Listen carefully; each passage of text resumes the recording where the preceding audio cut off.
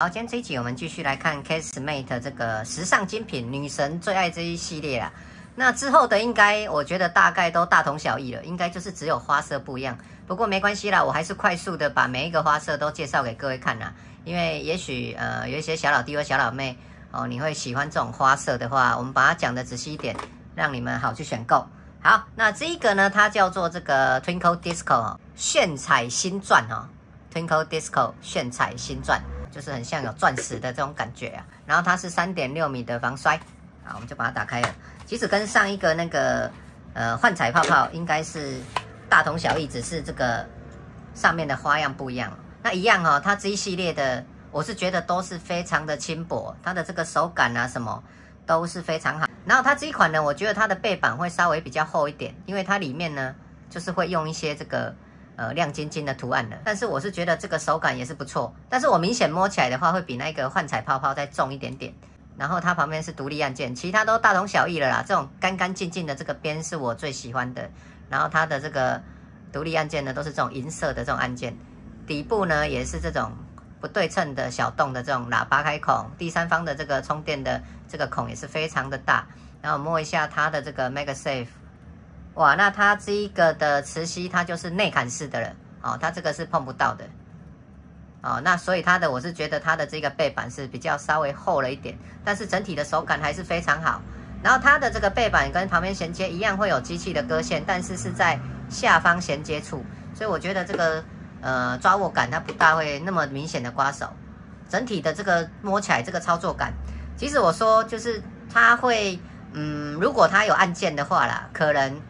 它可以排名到很前面哦，三胞胎啦，什么那一些，呃，Otterbox Lumen 有可能会被它击败，因为它这个整个手感，你就拿起来这个壳，很容易单手去操控，然后这个整个这种 TPU 的这种塑料这种指滑感，手感都是非常非常好的，而且它这个花样这么明显，就是会更美观了，而且它的这个按钮，它的这个花样看起来更有质感嘛，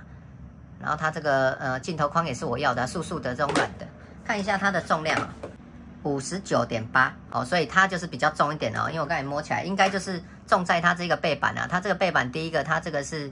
呃内砍式的这个磁吸，另外就是它的这个一些花样呢放在里面。好，那我们就把它装下去。装下去的话呢，这个边呢都是非常的漂亮服帖哦，然后是很紧扎的哈，不会跑动。然后整体就是很漂亮啊，也是周遭有高于这个荧幕哦，贴小好的保护贴。这个按钮独立的按键都是非常好按，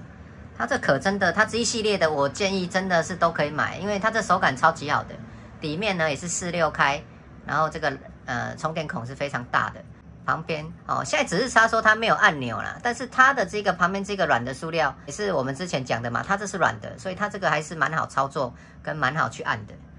哦只是说你要往里面压啦，它顶多是就是说它如果有做按键，真的会又会差更多。但是你说，如果以有洞的来讲，它这个手感真的是非常非常好。所以它这个系列，不管你是买什么颜色或者买什么图样，我觉得它这个呃 TPU，就是说你们喜欢这种透明壳啊，就是要这种最轻薄的这种手感的话，哇，那它这一个系列真的是非常好。六点九寸的拿在手上，你会感觉到非常好去操控。我这个是有贴小好的这个镜头贴的，也是不会超过这个框，图案非常漂亮，整体就是很美观呐。侧面这种都是干干净净。亮晶晶的啊，它没有什么任何的有的没的哦。这个女生应该也是可以哦，很时尚啊。然后我们看一下它的这个 MagSafe，MagSafe 这个的 MagSafe 就稍微弱了一点，这个大概是一点五倍哦，一点五倍啦，中等，没有前一个强了。那最后就是做一个总结，我是觉得它这一个保护壳就是还是以手感著称，跟它的这个漂亮的图案。磁吸表现也不错，按钮再按的话也是中规中矩啊，只是说就是你这种壳就要比较按大力一点进去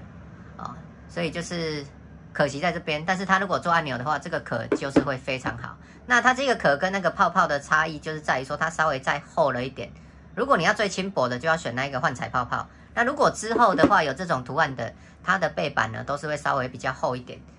厚重一点的。但是这个整体的手感还是非常好。好，那今天自己就到这喽，希望对人很有帮助。